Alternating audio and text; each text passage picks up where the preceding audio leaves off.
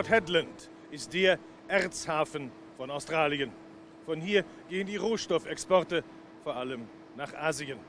Port Hedland wird dominiert von den Erzriesen, den großen Firmen und Konzernen im Rohstoffgeschäft. Aber der derzeitige Rohstoffboom gibt auch kleineren Firmen eine Chance. Wir stellen vor, die jungen wilden Wühler von Westaustralien. Die Erde wird aufgewühlt. 16 Tonnen Sprengstoff zerbröseln das rote Gestein, sind auf einer Eisenerzmine in Westaustralien. Monstertrucks rollen heran und bald nach der Sprengung beginnt das Abbaggern des erzhaltigen Materials. Die Welt hungert nach Eisen und Stahl, dies ist der Rohstoff dafür. Und die Minenmanager bejubeln den Bodenschatz. Der Eisengehalt des Gesteins ist hoch, hier wird das Wort vom Hunger nach Erz fast wörtlich genommen.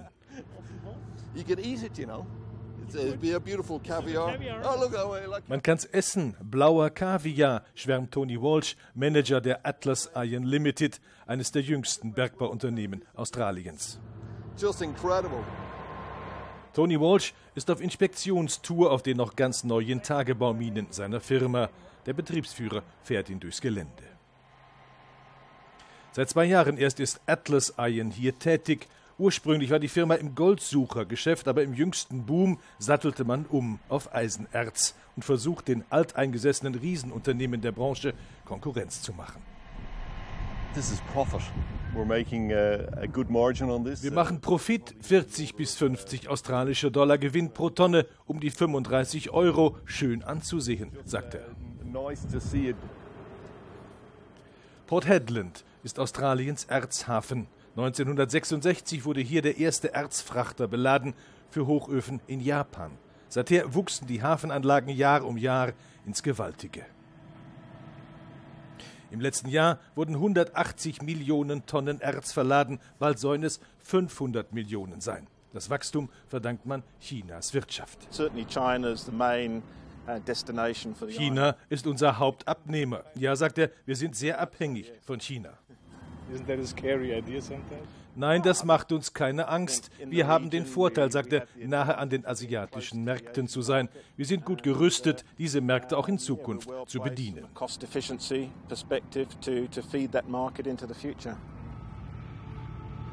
Die Erzzüge aus dem Landesinneren sind oft über dreieinhalb Kilometer lang. Sechs, manchmal sieben Lokomotiven, drei in der Mitte des Zuges. Die Monsterzüge in Westaustralien gehören den beiden größten Bergbauunternehmen des Landes. Das sind milliardenschwere internationale Multis. Das Eisenerz von der vergleichsweise kleinen Atlasmine geht per Lastwagen nach Port Hedland.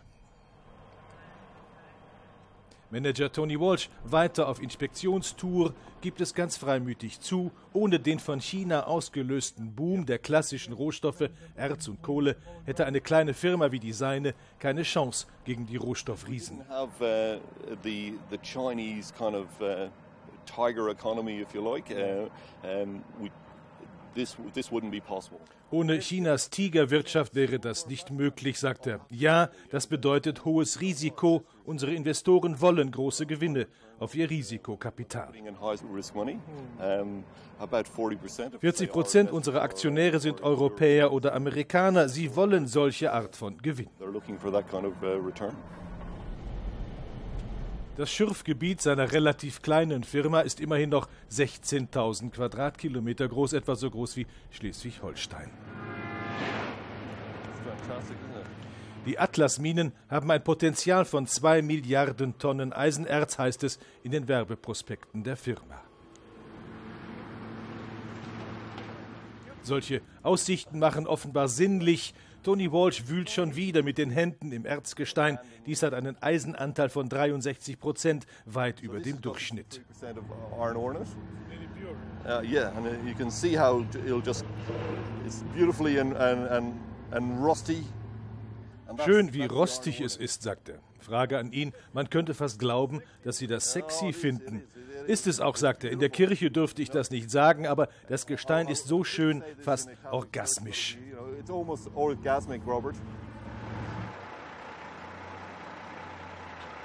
Vor dem Abtransport zum Hafen wird das Erzgestein zermahlen und auf einen durchschnittlichen Eisengehalt von 57 Prozent gemischt.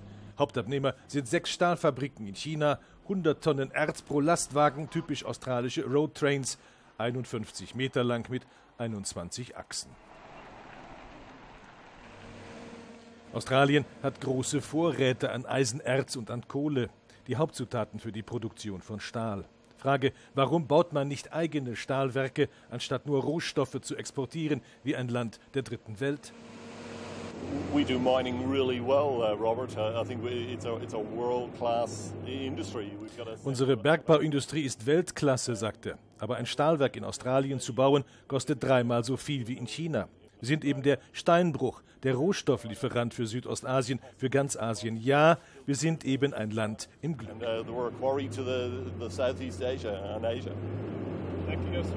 Absolutely, the lucky country. Australien verdient im China-Boom relativ schnelles Geld, aber das hat seine Risiken. Denn ohne den Großabnehmer China würde Australiens Wirtschaft schlicht zusammenbrechen. Hier in den Felsformationen der Kimberleys findet sich ein seltener Schatz. Rosafarbene Diamanten. Ein Bergwerk fördert sie zutage und eine Frau aus Schleswig-Holstein handelt damit. Wir stellen vor die deutsche Diamantendame im Outback von Australien. Das Outback wie im Bilderbuch. In den Kimberleys von Westaustralien ist einiges zu finden. Eine Diamantenmine zum Beispiel. Über und unter Tage wird auf der Argyle Diamantenmine der Edelstein geschürft, an Volumen die größte Diamantenmine der Welt, aber gefunden werden fast nur billige Industriediamanten. Mit einer Ausnahme. Und hier kommt eine weitere Entdeckung ins Spiel, eine Frau mit außergewöhnlicher Karriere. Argal ist die einzige Mine in der ganzen Welt, die diese äh, starken rosafarbenen Steine haben. Haben wir meine besten rosafarbenen Steine. Dieser kostet über 639.000 und der ist äh, fast ein Karat groß. Die schönste Farbe trage ich selber. Es ist fast rot, genau wie dieser auch. Im Outback-Ort Kunurura, keine 4000 Einwohner, findet man die seltensten Diamanten der Welt im Laden von Frau Frauke, aufgewachsen in Kappeln an der Schlei im fernen Schleswig-Holstein. Betrieb im Laden viele Touristen auf der Suche nach rosa Diamanten. Die billigeren kosten um die 20.000 australische Dollar, 14.000 Euro. Das habe ich über die Jahre so aufgebaut. Das sind noch ein paar Millionen, die hier im Laden sind. Ja, einige einige. Besonders durch die rosafarbenen, die sind die ganz teuren. So wohnt Frauke, die von einem deutschen Bauernhof kommt. Vor fast 30 Jahren war sie mit Mann und drei Kindern nach Australien ausgewandert. Nach drei Jahren auf ihrer Farm starb ihr Mann. Wie kam sie als Farmerswitwe ins Diamantengeschäft? Wie, ja, wie eine Jungfrau zum Kind kommt. Wie kommt eine Jungfrau zum Kind? Weiß ich auch nicht. Ich war 43,5 genau. Verhältnismäßig spät, ja. Und man muss ja auch dazu sagen, ich hatte eigentlich keine Ahnung davon. Etwas Familienkapital, so sagt Frauke, war hilfreich, auch die Freundschaft zu einer Juwelenhändlerin. Doch sich durchbeißen und das Diamantengeschäft lernen, musste sie allein. Seit 19 Jahren hat sie den Laden, beschäftigt Goldschmiede und Edelsteinexperten, eine lupenreine Erfolgsfrau. Macht das nicht stolz? Ja, vor allen Dingen, ich habe es ja nicht gelernt, nicht? Es, aber wenn man Lust dazu hat, was, man kann alles lernen. Man kann alles lernen. Und es bringt immer noch Spaß. Ist auch sehr wichtig. Und nach Feierabend tauscht sie das rosa Kleid gegen ein Radler-Outfit. Neben rosa Diamanten ist Fitness. Ihre zweite Leidenschaft, Frauke, ist 62 Jahre alt. Auch am späten Nachmittag ist es noch ziemlich heiß in Australiens Nordwesten, doch Frauke Bolton ist das Strampeln gewohnt, schnell und zielstrebig. Die Nordwestküste von Australien ist eine Heimat der großen Buckelwale. Hier bekommen sie ihre Jungen, hier spielen sie mit ihren Babys. Aber diese Küste ist auch gleichzeitig reich an Öl und Erdgas. Deren Ausbeutung gefährdet die Existenz der Wale, sagen Umweltschützer. Um eine neue Erdgasanlage ist heftiger Streit entbrannt. Auf den tiefblauen Wassern vor der Westküste Australiens. Touristen halten Ausschau nach auftauchenden Buckelwalen. Skipper Paul Schmidt hat seinen zahlenden Gästen versprochen, dass sie Wale zu Gesicht bekommen. Und die Wale springen tatsächlich rechtzeitig zum Dämmershoppen auf dem Ausflugsboot. Wir sind unterwegs im Golf von Exmouth, berühmt für seine große Walpopulation. Hier ziehen die Walmütter ihre Babys auf, die lernen springen und tauchen. 30 bis 40 Kilometer vor der Küste Bohrplattformen. Australiens Nordwesten erlebt einen Boom an Öl- und Gasförderung. An der Küste entstehen Anlagen zur Aufbereitung und Verschiffung der Ausbeute und eine Flüssiggasanlage wie diese sorgt derzeit für Proteste. Verschont unsere Wale, rufen Demonstranten in der Stadt Broome, hoch im Nordwesten des australischen Kontinents, in der Kimberley-Region. Eine in der Nähe geplante Gasaufbereitungsanlage, so fürchten sie, werde der Meeresfauna schaden, die Küste verschmutzen. Viele der Aborigines, der Ureinwohner, haben sich dem Protest angeschlossen. Noch einmal Wale bei Exmouth. Tauchlehrerin Wie führt junge Touristen aufs Ningaloo Riff. Steuermann Brad ist aufgeregt. Da hinten ein Walhai. Tourismus gehört wie der Rohstoffexport zu den größten Devisenbringern Australiens. Das Ningaloo-Riff hier ist Heimat der großen Walhaie, aber auch Buckelwale ziehen hindurch. Gruppenweise lässt Tauchlehrerin Wie ihre Schnorchelgäste zum Wal schwimmen. Das Ningaloo-Riff ist Naturschutzgebiet, aber die nächsten Gasbohrungen sind geplant, keine zehn Kilometer vom Riff entfernt. Naturschützer und örtliche Reiseveranstalter finden das bedenklich. Das Ningaloo-Riff mit seinen Walhaien und Buckelwalen ist von Australiens Zentralregierung als UNESCO-Welterbe vorgeschlagen worden. Jetzt fragen Umweltschützer, wie das mit nahen Gasbohrinseln zusammenpasst. Natürlich ist das ein Problem, sagt sie. Mehr und mehr. Obwohl die Zahl der Buckelwale seit 2007 zugenommen hat um 11 Prozent, sagt sie. Aber natürlich wird die Gas- und Ölsuche hier ein Problem sein für die Wale.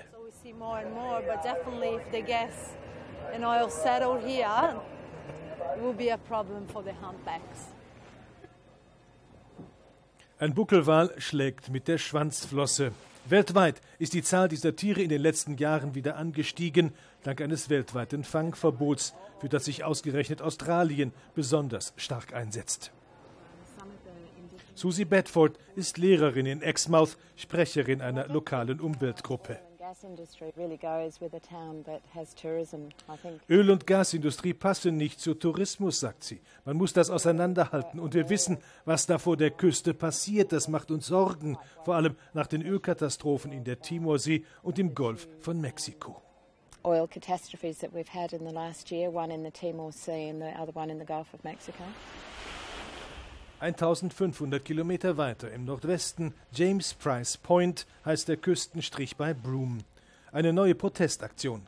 Demonstranten paddeln zu einer Bohrplattform, die den Bau der geplanten Gasverarbeitungsanlage vorbereiten soll.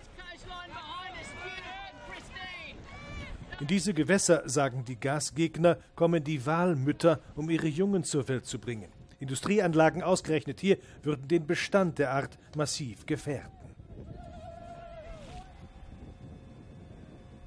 In Fernsehspots argumentiert ein Sprecher der Ureinwohner gegen die Ausweitung der Gasindustrie in den Nordwesten Australiens.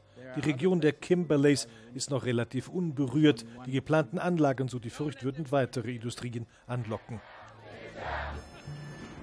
Am riesigen Sandstrand von Broome treffen wir den Mann aus dem Fernsehspot.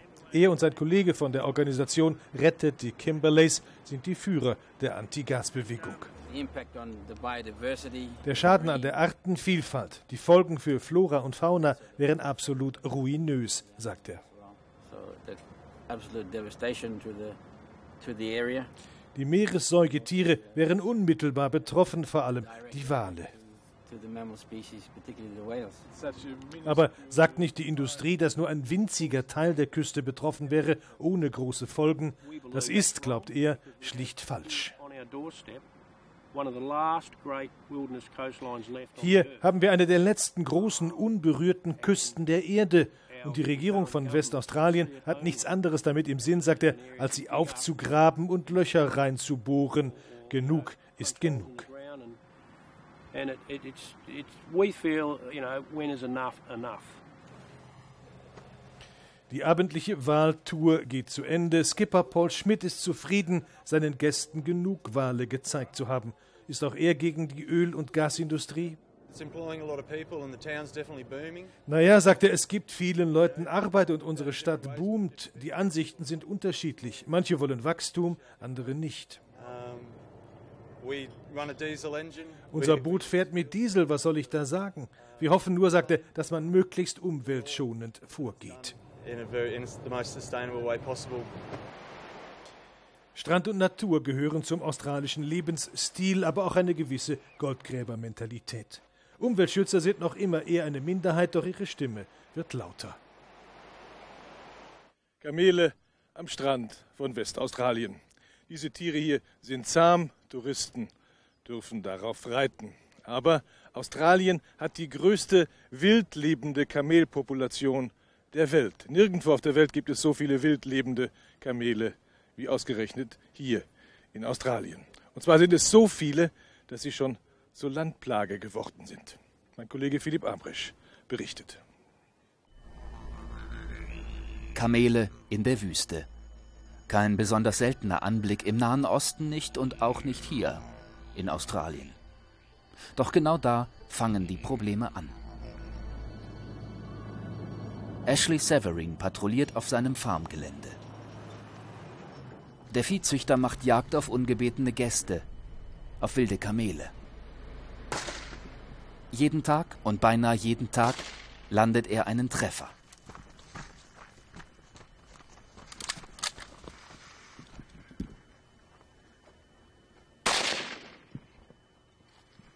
Eine Tonne schwer, geschätzt 15 Jahre alt.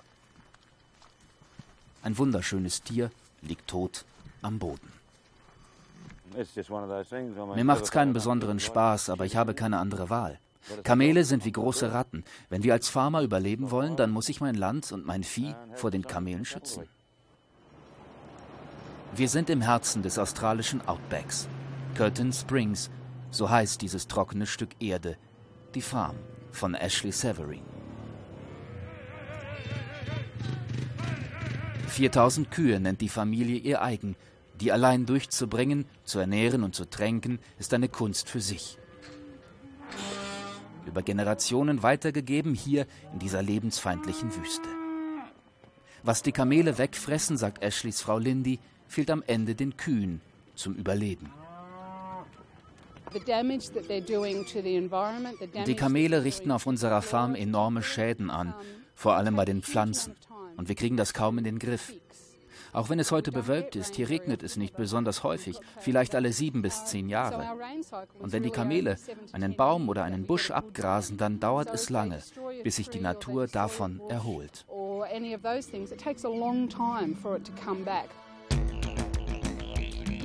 Flug übers Outback. Die australische Wüste seit knapp 150 Jahren ist sie auch die Heimat der Kamele.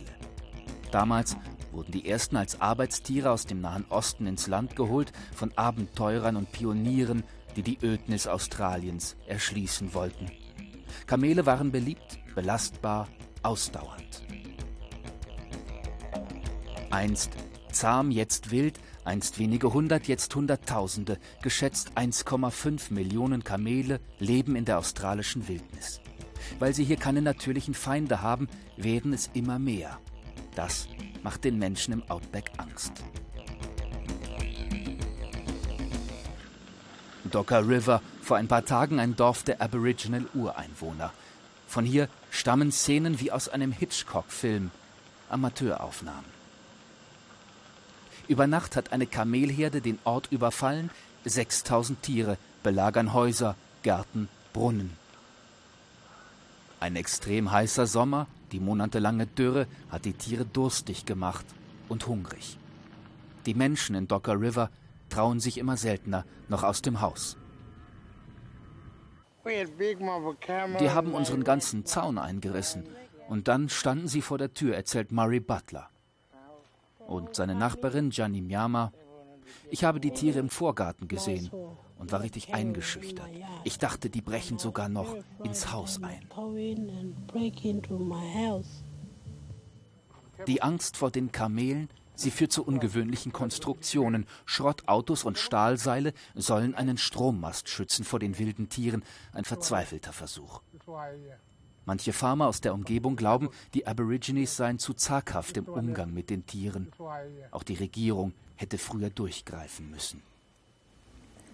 Nun, endlich haben die Behörden angeordnet, die Kamele von Docker River massenhaft zu keulen. Abschuss als letzte Chance? Bei Kings Creek, einem Nachbarort, nähert man sich der Kamelplage anders. Mitten in der Wüste eine Art Mausefalle für wilde Kamele. In dem Gatter werden beinahe täglich Dutzende Tiere gefangen, so etwas wie bares Geld auf vier Beinen. Mit den Tieren soll Handel getrieben werden. An Abschießen also denkt keiner der Arbeiter hier. Wir Aboriginals lieben die Tiere. Und es ist schwer mit anzusehen, wenn die geschossen werden. Wir finden, dass die Tiere einen würdevolleren Umgang verdient haben. Wir bringen sie raus zu den Leuten, die was davon verstehen. Chris Howard ist so einer. Der Kamelfarmer hält die Plage fast für einen Glücksfall. Auf seiner Farm bietet er Kamelausritte für Touristen. Auf den Schlachthöfen im Umland werden aus seinen Tieren Steaks und Würste gemacht. Kamele sind für alles Mögliche gut. Das Fleisch ist beispielsweise gesund und proteinhaltig. Wir können auch viele neue Arbeitsplätze schaffen, wenn wir die Tiere stärker nutzen. Eine Schande, die Tiere einfach abzuknallen.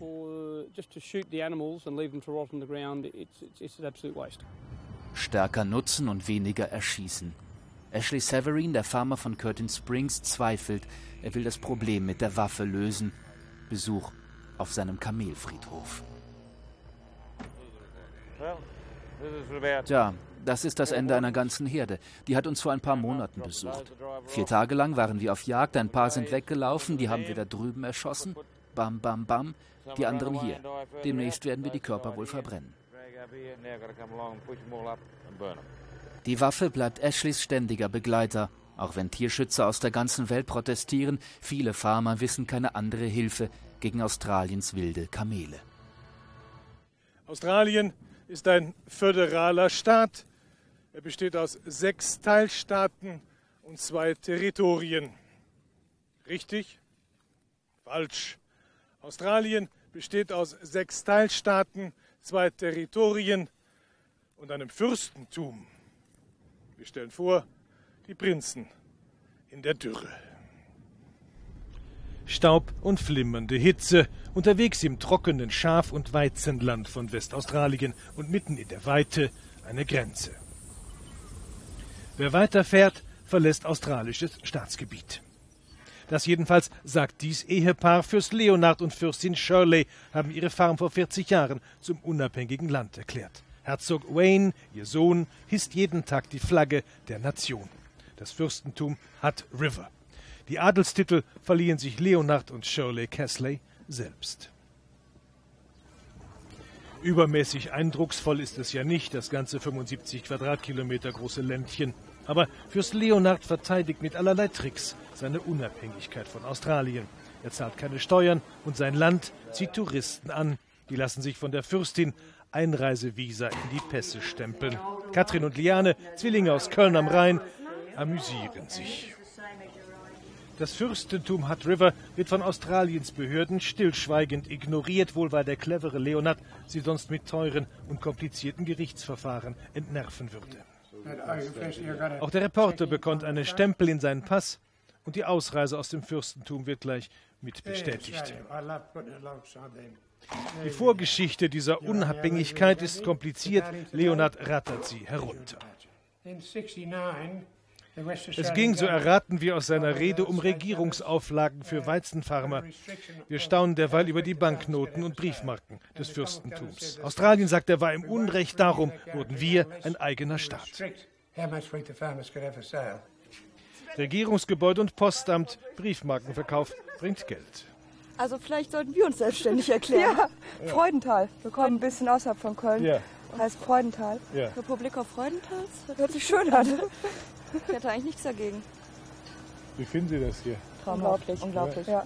Sowas ist nur in Australien möglich. Der Fürst, inzwischen 84, ist wohl ein bisschen verschroben, aber intelligent genug, um jahrzehntelang Australien juristisch auszutricksen. Die Touristen machen sich auf den Rückweg. Für umgerechnet 70 Euro hätten sie auch die Staatsbürgerschaft des Fürstentums Hutt River erwerben können, samt Pass. Tatsächlich hat das Land 13.000 Staatsbürger in aller Welt. Viele davon waren allerdings noch nie hier. Rote Erde, blaues Wasser, eine Landschaft von fast unwirklicher Schönheit. Wir sind unterwegs in Sharks Bay in Westaustralien. Und Sharks Bay ist die Heimat der Delfine. Nirgendwo gibt es pro Quadratkilometer See so viele Delfine wie hier. Sie kommen sogar zum Streicheln und zum Füttern an den Strand. Wir stellen vor die Delfine von Monkey Maya. Alltägliche Delfinbegegnung in der Sharks Bay an Australiens Westküste. Aber man kann den Tieren noch erheblich näher kommen. Monkey Maya heißt ein Strandhotel an den unglaublich blauen Wassern der Haifischbucht und hier kommen Delfine buchstäblich an den Strand. Jeden Morgen um acht versammeln sich die Gäste vor dem Hotel und die Delfine vor dem Strand. Und dann kommt man sich näher unter Aufsicht von Rangerinnen der staatlichen Naturschutzbehörde. Seit über 40 Jahren lassen sich die Delfine hier am Strand füttern. Örtliche Fischer hatten einst damit angefangen. Bottlenose Dolphin, flaschennasiger Delfin, heißt diese Art auf Englisch, Deutsch großer Tümmler. Wir haben hier seit 1994 die Aufsicht übernommen, sagt die Rangerin, mit dem für diese australische Berufsgruppe typischen Selbstbewusstsein. Wir füttern nur fünf der erwachsenen Weibchen, die zum Strand kommen, sagt sie.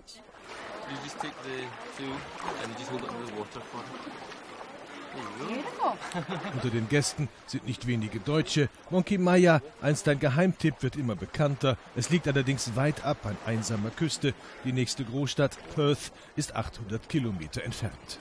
Äh, wir sind speziell hier äh, mit nach Monkey Maya gefahren, um die äh, Delfine äh, mitzusehen. Es ist schön, mal äh, direkt mit der Natur zusammen zu sein hier. Die Gewässer hier sind reich an Nahrung für Delfine. Sie müssen nicht gefüttert werden. Wir wollen die Delfine nicht zahm nennen oder trainiert, sagt sie. Sie sind es einfach gewohnt, zum Strand zu kommen. Sie schauen sich die Menschen an und sie vertrauen uns. Anfassen ist verboten. Looking at all the humans and the trust that we built up over the years is quite essential, and that's why we do actually have the no-touch policy. Ein bisschen Touristenrummel herrscht schon am Strand von Monkey Maya, aber es bleibt ein faszinierendes Erlebnis. Und die Delfine sind hochgradig verlässlich. Sie kommen jeden Morgen zum Strand, immer pünktlich und immer ganz nahe. Noch eine Geschichte auf den blauen Wassern von Sharks Bay.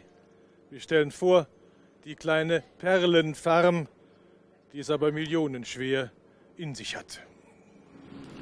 Nur wenige Strände an Australiens Westküste sind bereits touristisch erschlossen. Schon ein paar hundert Meter vom Strandhotel beim Ort Monkimaya entfernt treffen Wüste und Meer aufeinander. Hier ist die Küste menschenleer. Wir sind unterwegs auf einer Perlenfarm in der Sharks Bay, einem abgelegenen, einsamen Gewässer, und wir treffen eine junge Frau aus Deutschland. Zusammen mit anderen Rucksacktouristen aus Europa hat Inga Halfinger aus Andernach hier angeheuert. Sie hilft beim Heben von Austernbänken ist harte Arbeit. Ist okay, nicht wirklich. Wie lange bleiben Sie insgesamt? Noch ein paar Tage. Ein paar also Tage. so eine Woche. Lohnt sich das denn? Geldmäßig? Ex-Volunteer. Volunteer. Kein Geld. No money. Inga, die in Aachen Kommunikationswissenschaften studiert hat, ist mit einem Ferienarbeitsvisum in Australien. Das gilt für ein Jahr bei unbezahlter Arbeit. Damit reisen jedes Jahr tausende junge Leute durch den Kontinent als billige Arbeitskräfte. Diese Austern waren drei Jahre lang im Wasser. Jetzt wird man ihnen einen Fremdkörper einsetzen, der dann in der Muschel von Perlmutt überwachsen wird. Normalerweise entsteht dabei eine Perle. Hier macht man etwas anderes. Doch zunächst müssen die Austern gereinigt werden. Dabei hilft Inga. Ist das nicht ziemlich harte Arbeit und dann auch noch für nichts? Es ist ja für nichts, das ist Erfahrung. Und ich komme ja wieder. Und das ist nicht unbedingt Dreckarbeit, das ist einfach nur spannend und ist Erfahrung das ist das ganze Jahr für mich. Einfach Menschen treffen, was anderes sehen, was ich in Deutschland nicht sehe.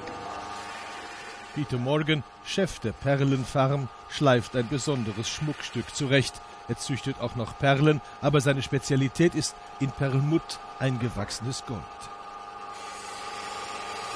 Drei Jahre braucht die Auster im Wasser, dann ist das Gold eingewachsen oder auch ein Opal. Sohn Jamie Morgan zeigt, wie das Gold in die Auster praktiziert wird. Die Morgans haben für umgerechnet anderthalb Millionen Euro Opale und Gold auf ihren Austernbänken versenkt. Das Gold darf nicht zu viel Kupfer enthalten, sagte, das tötet sonst die Muschel. Und so sieht der fertige Schmuck aus dem Wasser aus mit Opalen und Gold, beides aus australischen Minen. 10 Prozent vom Gold fressen Schildkröten, sagt Peter, oder besoffene Touristen krachen in unsere Austernbänke. Elf Monate war Inga in Australien unterwegs. Sie hat gekellnert, Obst gepflückt und Wein geerntet, rings um den ganzen Kontinent. Hier lernt sie auch noch, wie man Austern an Seilen im Meer versenkt. Inga hat viel gesehen in Australien, aber hier, hoch oben an der Westküste, ist es nun doch besonders menschenleer, hat sie uns gesagt. Und wo auf der Welt sieht man solche Meeresfarben ineinander übergehen, solch Blau, Türkis und Grün. Und dort unten liegt auf dem Wasser ganz klein und einsam die Perlenfarm, auf der eine junge Frau aus Deutschland arbeitet. Australiens Natur kann bisweilen überwältigend sein. Zum Beispiel hier in den riesigen Sanddünen von Lanzelin in Westaustralien. Und was macht der Australier mit so viel Natur. Er macht einen Abenteuerspielplatz daraus. Allsonntäglicher Wahnsinn auf der Düne. Naturgenuss mit Motorkraft. Diese Vehikel sind eigens konstruiert fürs Herumrasen im Sand. Entlang der australischen Westküste, knapp 100 Kilometer nördlich von Perth, erstrecken sich riesige Dünenlandschaften. Eine davon beim Küstenort Lancelin ist für diese Art Motorsport freigegeben. Ein lautes Vergnügen.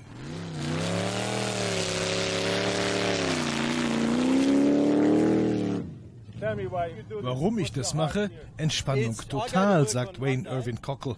Wenn ich am Montag zur Arbeit gehe, bin ich vollkommen relaxed in einer anderen Welt. Fahrer und Beifahrer atmen durch Schläuche und Filter, sonst würden sie im aufgewirbelten Sand keine Luft bekommen. Dünenbuggies sind, wie sollte es anders sein, eine amerikanische Erfindung aus Kalifornien. Aber Australier haben ähnlich wie Amerikaner einen ausgeprägten Hang, die auf dem Kontinent reichlich vorhandene ursprüngliche Natur mit großem Aufwand an Technik zu erobern. Der Ort Lancelin hat nur 600 Einwohner, aber am Wochenende pilgern die vornehmlich australischen Touristen hierher. Und wo mehr als zwei Australier zusammen sind, gibt's Barbecue und natürlich Bier. So sitzt man mit Familie und Freunden in den Dünen, Freizeit Down Under. Die Buggies sind nicht allein auf der Düne von Lancelin. Motorradritter in ihren Rüstungen überall Fußgänger sind eher selten. Das große motorisierte Wühlen erzeugt bei angereisten Reportern aus Europa durchaus zwiespältige Gefühle. Darf man so mit einem Naturwunder umgehen, wie es die Riesendünen vor Lanzelin einmal sind? Wäre nicht Naturschutz angebracht?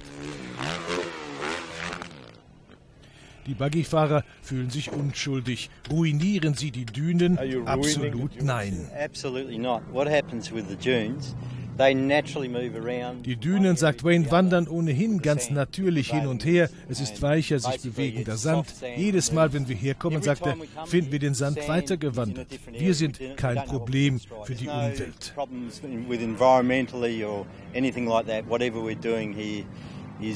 doing any damage to the environment at all. Wird denn wenigstens der Ranger für unseren Hegetrieb gegenüber der Natur Verständnis haben? Beliebt ist er ja hier offenbar nicht. Doch auch der von Amts wegen bestallte Naturschützer findet nichts dabei, die Düne als Rennpiste zu gebrauchen. Dies ist keine Umwelt, die zu schützen wäre, sagt Mike Hokiff. Genau darum haben wir dieses Gebiet freigegeben. Das mindert den Effekt auf andere Dünengebiete und verhindert Umweltschäden.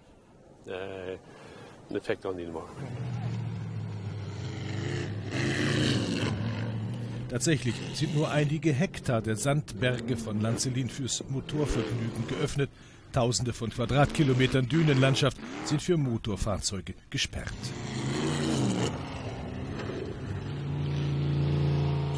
Desert Storm heißt dieses seltsame Ungetüm, das ebenfalls in den Dünen von Lanzelin sein Unwesen treibt.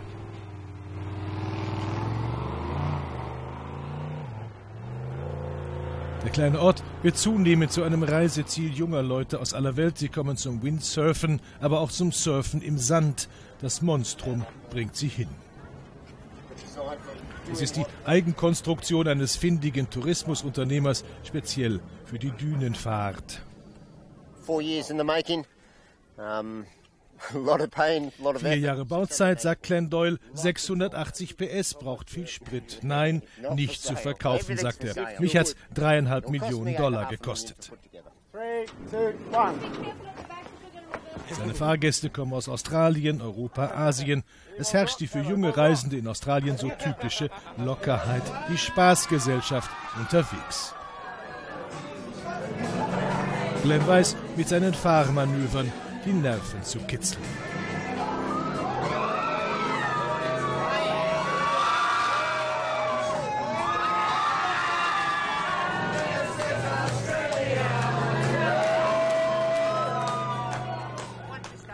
Der Tourismusunternehmer behauptet, einst das sogenannte Sandboarding in Lanzelin erfunden zu haben.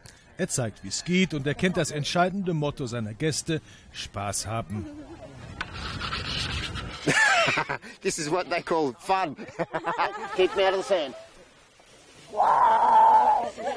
Das muss es wohl sein, was diesen Kontinent für viele junge Leute so attraktiv macht, bequem, wohlorganisierte Abenteuer zu erleben. Willkommen in Australien.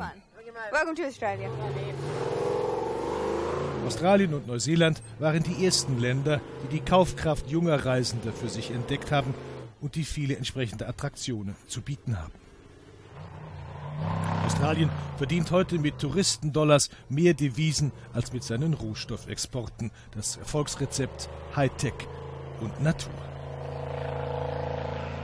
Dies merkwürdige Gebilde in Westaustraliens Hauptstadt Perth ist wohl einer der modernsten Glockentürme dieser Welt.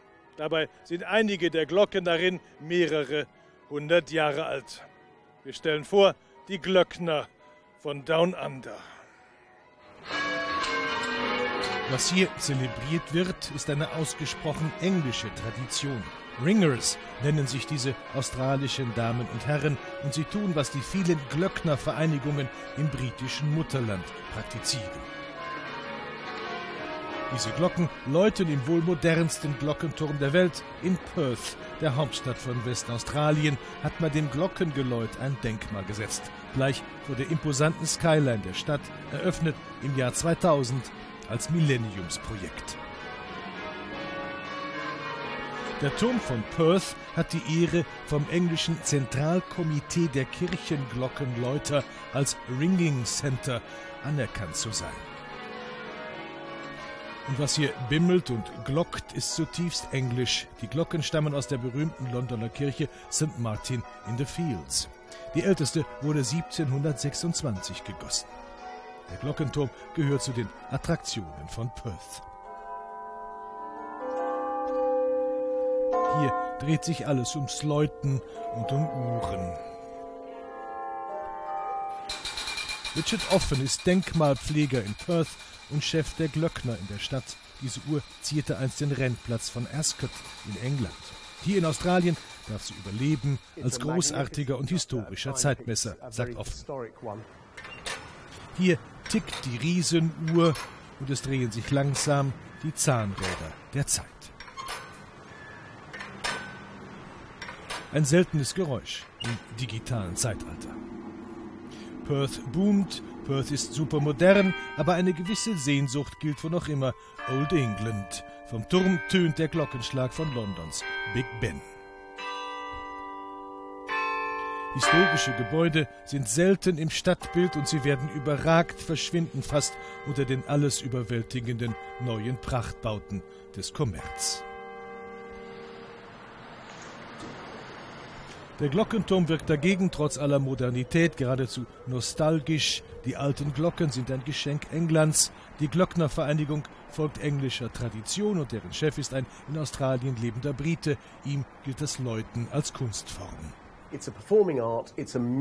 Man braucht dazu ein Gefühl für Rhythmus, sagt er, genug musikalisches Geschick, die Glocke, die man läutet, aus den anderen herauszuhören. Die Glöckner von Perth versammeln sich ein bis zweimal die Woche. Es sind Rechtsanwälte, Beamte, Techniker, Lehrer. Glockenläuten ist ihr Hobby und sie sehen es als Privileg, für eine Viertelstunde die alten Glocken zum Schwingen zu bringen. Einfach ist das Läuten von Hand keineswegs. Eine der größten Herausforderungen besteht einfach darin, die tonnenschwere Glocke so zu beherrschen, dass sie tut, was der Glöckner will, sagt Roger Lubbock.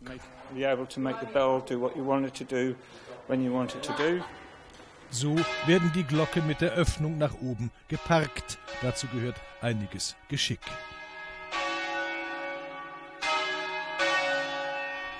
Bleibt sie mit der Öffnung nach unten stehen, sagt Henry Atfield, braucht man zwei oder drei Leute, sie wieder in Gang zu setzen. Die Seile werden sorgfältig gesichert. Bis zum nächsten Mal, wenn man wieder englische Tradition zelebriert in Perth, weit weg von Old England, am anderen Ende der Welt.